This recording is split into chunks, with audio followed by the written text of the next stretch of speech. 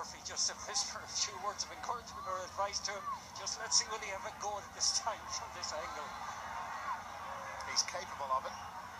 Wind is helping Michael Murphy, and he's got his foot right through that. And that is absolutely glorious from Michael Murphy.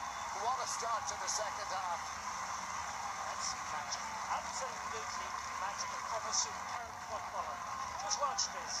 Has the confidence, has the technique, outside of the boot, through the ball, beautifully splits the post. Great score, great start for Donegal at the start of the second half. Well, they say about Michael Murphy, even when he's at 60%, he's brilliant. And he's had some brilliant moments at the start of this second half.